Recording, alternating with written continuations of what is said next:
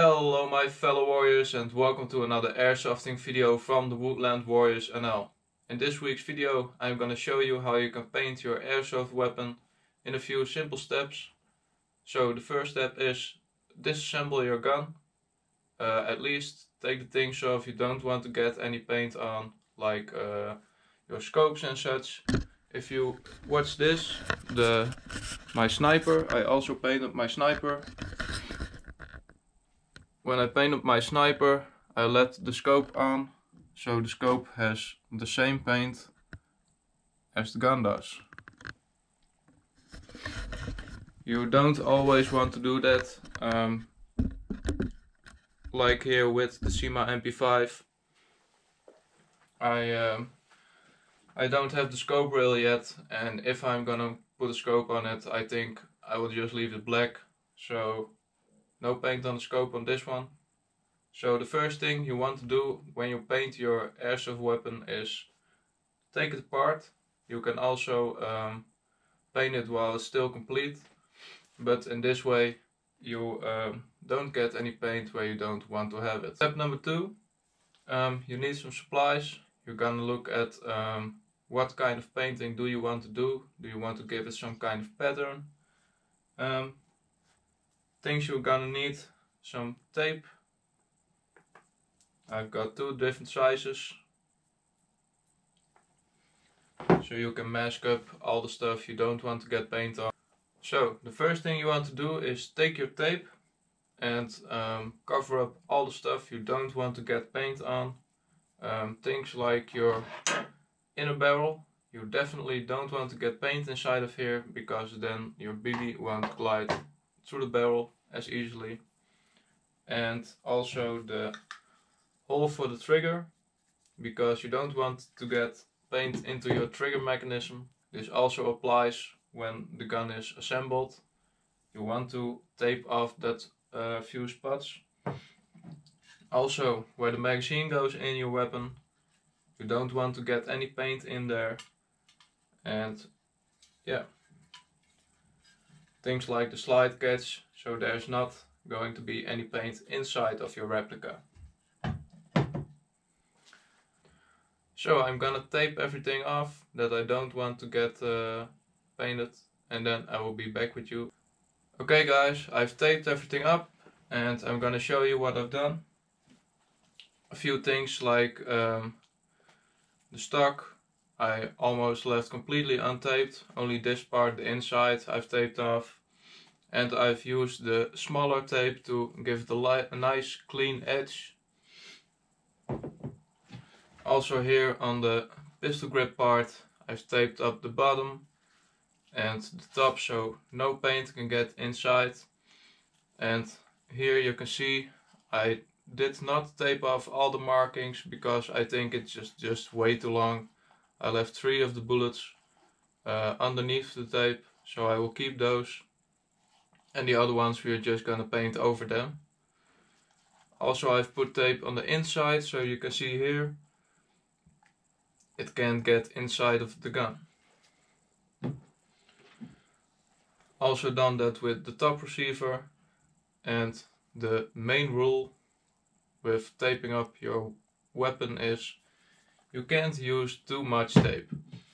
If you're afraid that some of the paint is going through the tape, just add a few extra layers and in that way you will secure your gun not getting any paint inside of it. Especially if you're going to do this while your uh, gun is still assembled, I'm gonna show you the next step of painting your airsoft weapon. Okay guys, so for the next part I'm gonna show you what I do to get my camouflage on my uh, gun. I have these stickers, which are a camouflage pattern, and I put them on different spots on the gun where I don't want the paint to get on. So I'm gonna put some of those on it and then we're gonna apply our first layer of paint. So guys, now we've taped up most of our gun with camouflage striping tape. I'm gonna show you how it looks. This looks a bit like this. I only put a few of them on there because of the way this works.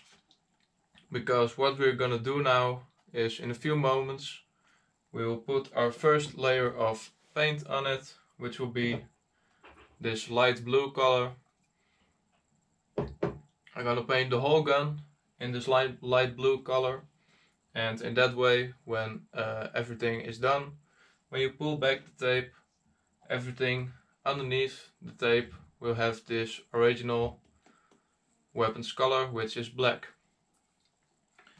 if uh, the blue paint has dried enough then we are gonna apply some more of this camouflage striping tape so the blue stays on there and then we're gonna take our next color a darker blue paint the whole gun and after that put some more of the camouflage striping on it and go over it with this grayish color.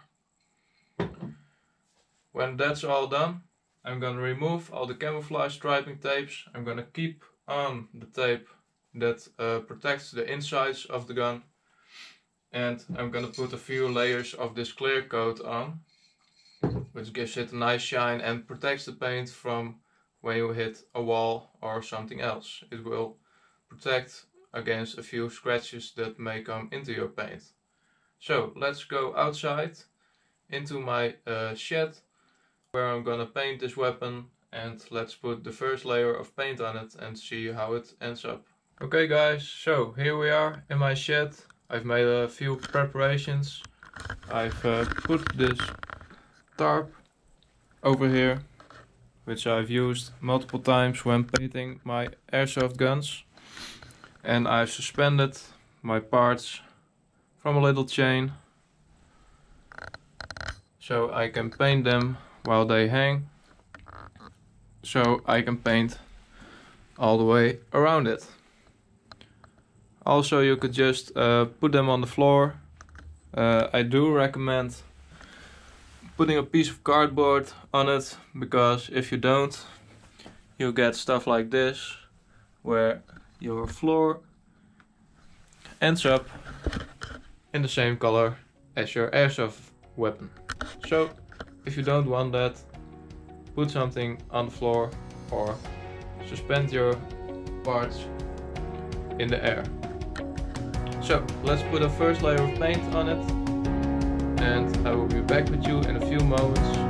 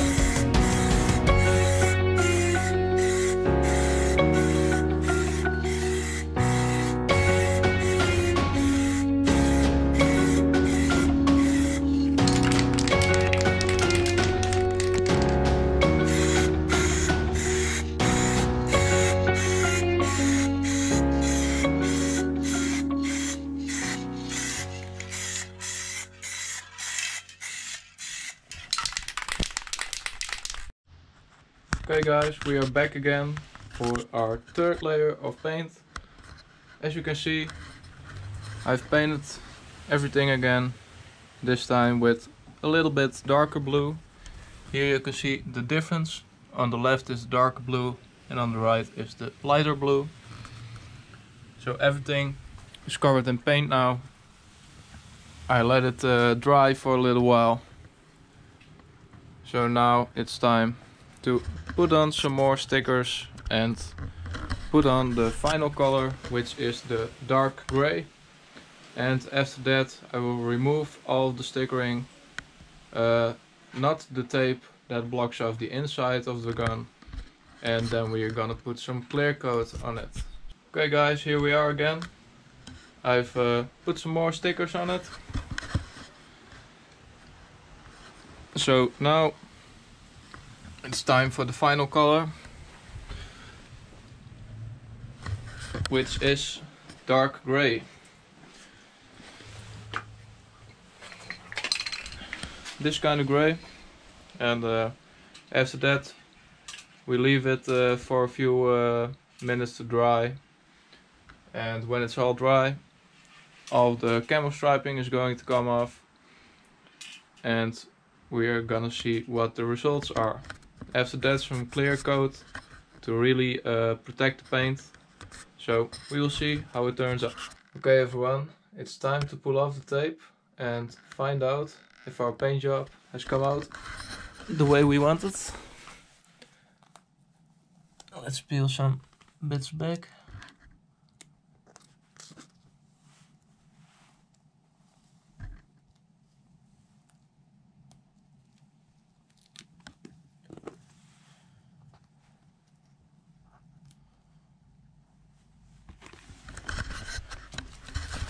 It comes out the way we want to.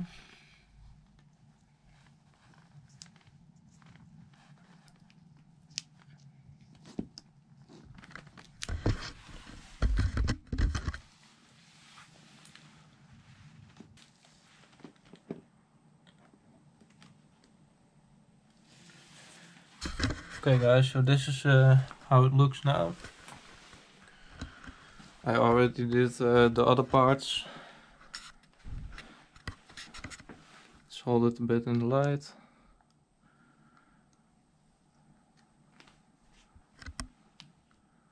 I think this part turned out pretty nice. Also the stock came out good.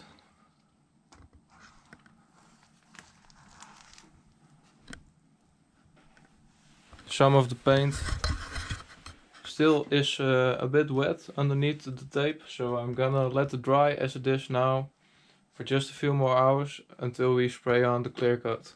Okay guys, so unfortunately the lower receiver part of the weapon didn't came out uh, quite as good as I wanted to.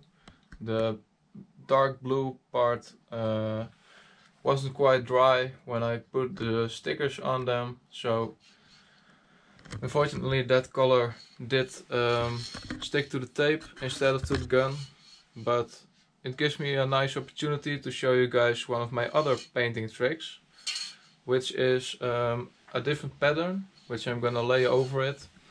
And the way I do that is uh, I've got a washcloth, like this, and when you fold that over the gun. And you you uh, do need to make sure it's nice and tight or uh, wrapped around. And in that way you get really cool uh, dots on your gun. Uh, I use the same technique on my sniper rifle so you can see uh, in the beginning part of this video uh, when I show you my sniper rifle you can also see those dots. So this time we're gonna do it again, but with the dark blue color. So let's see if that makes the upper receiver stand out a bit more. So guys, the painting is done. Uh, I've put a few layers of clear coat on them. Uh, I waited about 10 to 15 minutes after each coating. So the clear coat can dry a little bit. And then you put a few layers on top of that to protect your paint. So this is how it looks at this stage. I think the pistol grip came out as one of the best of them all. Also the stock uh, is really nicely painted.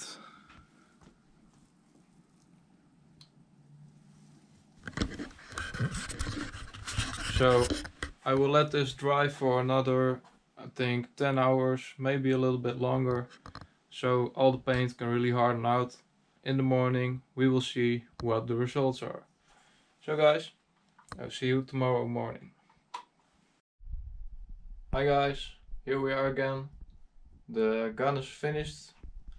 Uh, only the upper receiver looked so bad that I uh, did it all over again I sanded it down and repainted it with all the previous steps and that one is still uh, in paint as we speak So unfortunately I can't show you the complete gun as it is now, but I can show you uh, the other parts that are painted correctly. So this is what it looks like right now. With all of the inside blocking tape removed. Like here on the pistol grip you can see we've got that nice clean edge and also here on the stock. So as you can see by um, taping off some bits you still got some black left on your weapon. I think it came out pretty good. Unfortunately we still have to wait until the paint is dry on the upper receiver and I have to go to work today so I can't show that to you just yet, but next week I will give you a little update on how the gun is being assembled back together. So guys, I hope you enjoyed this video.